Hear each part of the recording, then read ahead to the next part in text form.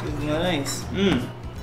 sabe o que é todo dia você ir no ônibus cheio de gente, que nem sardinha lata? Essa é a minha realidade.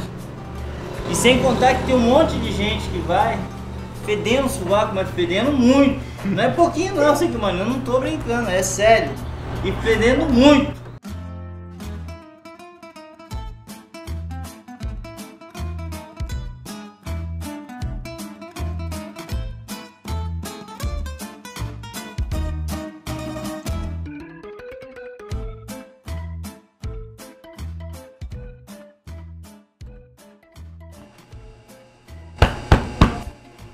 Opa! Você pode ver uma cerveja pra mim, seu Guimarães? Mas essas horas?